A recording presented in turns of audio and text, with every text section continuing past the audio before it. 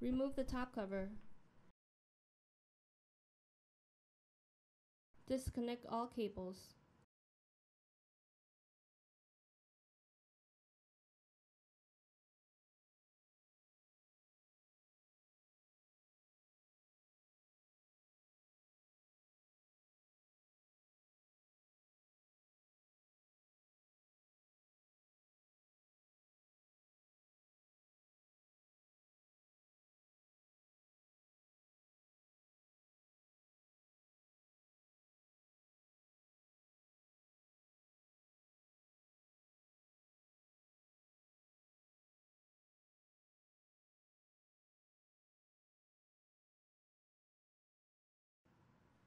Remove the following components from the system board.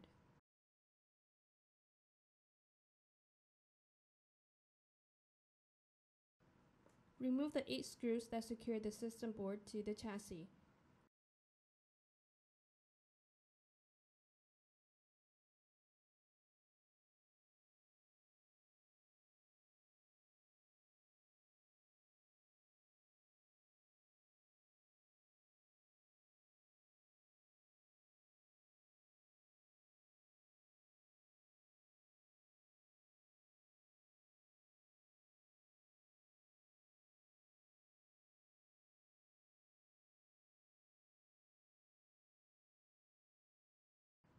Lift the system board slightly and lift it out of the server.